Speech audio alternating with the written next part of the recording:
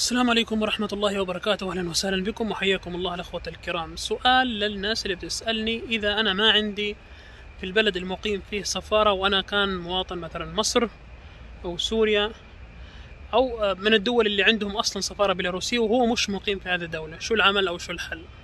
الأفضل أنك تتأكد من الشخص اللي راح يرسل لك الدعوة. إذا المطار وافق وختم عليها ختم المطار مثل الختم اللي أنتم شايفينه. يعني الأمور تمام ممكن تأخذ الفيزا بالمطار. بس إذا المطار ما ختم عليها وارسل لك مجرد دعوة فلازم أنت تجيب الفيزا من السفارة بغض النظر. عندك أنت سفارة وما عندك سفارة. بمعنى آخر الختم الموجود على الدعوة هو اللي بقرر وين تأخذ الفيزا. إذا موجود ختم المطار معناته أنت تأخذ الفيزا بالمطار. إذا مش موجود ختم المطار فلازم تأخذها بالسفاره كيف هذه الأمور بتصير؟ آه، وبتصير؟ هذا بيرجع للشخص اللي بيقدم لك على الدعوة سواء دعوة سياحية أو دراسية.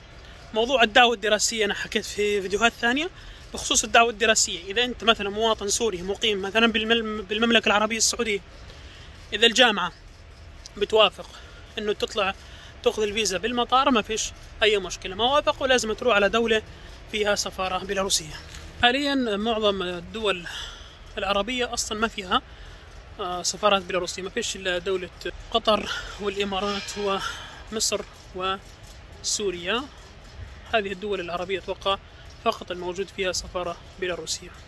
آه، بالفترة الأخيرة بشوف في ناس كثير سواء بيكتب لي أو بيكتب لي جروبات أو بيكتب براسل الناس بقول له أنا بدي فيزا. ما فيش إشي اسمه بدي فيزا. في إشي اسمه الهدف اللي أنت جاي فيه على بيلاروسي سواء دراسي سياحي تجاري.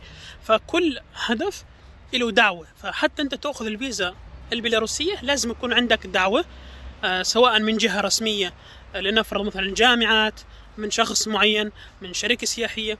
على هذا الأساس أنت بتأخذ الفيزا. في ناس بفكر الدعوة مجرد الدعوة الورقة اللي بيطلعوا لك إياها بيرسلوا لك إياها هي هذه الفيزا.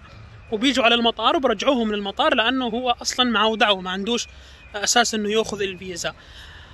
إذا مختمة مثل ما حكيت لكم من المطار الدعوة ممكن تأخذ الفيزا بالمطار بس إذا أنت مرسل لك الدعوة أو صورة الدعوة وأنت لازم تأخذ الدعوة في السفارة فقط حصري لازم تأخذها بالسفارة ممكن يرجعوك ورا إذا ما كانت الدعوة مختمة بالمطار.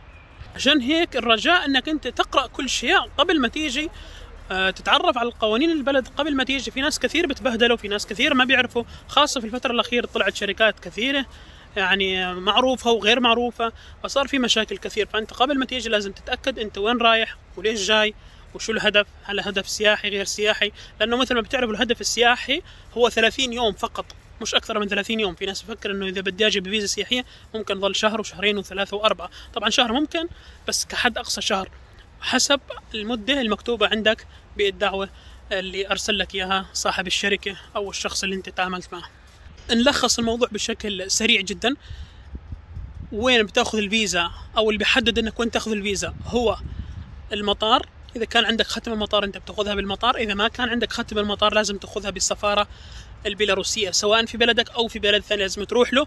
وخاصة إذا أنت كنت مواطنين الدول التالية مصر سوريا آه، قطر ما عندهم مش فيزا. اللي هو مصر وسوريا؟ الدول الثانية اللي ما عندهم سفارة أصلا من الأساس بحق لهم إنه يجوا يأخذوا بالمطار ولكن بعد ما يكون الختم المطار موجود على الدعوة سواء دعوة دراسية سياحية أي دعوة ثانية لازم يكون الختم المطار. ختم المطار هيك شكل مثل ما حكيت لكم بالبداية.